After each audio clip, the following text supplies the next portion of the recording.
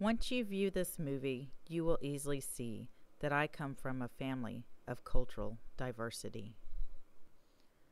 Although my husband's family comes from Poland, Irish, English, Cherokee, and German are all part of me. Even though our family is made of many different descents, speaking English is how our time is spent. Education is extremely important to us. Roman Catholics and Christians are topics we discuss. We have several customs and traditions. Some may be obvious for you to see as we cheer for the stars and Vikings or decorate our Christmas tree.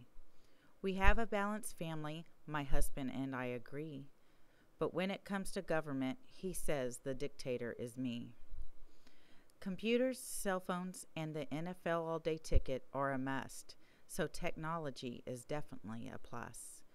When it comes to arts and literature, music and theatrics is more my husband than me, for I am all about reading, poetry, and technology.